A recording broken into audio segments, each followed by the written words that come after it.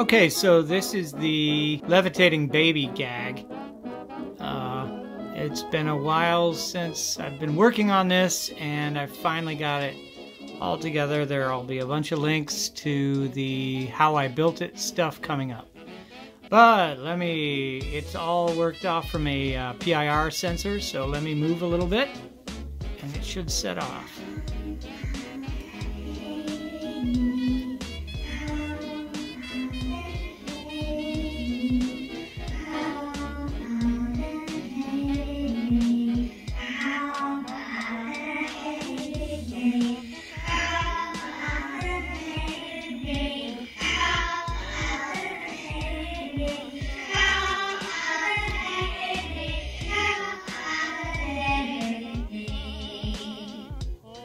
And there we go.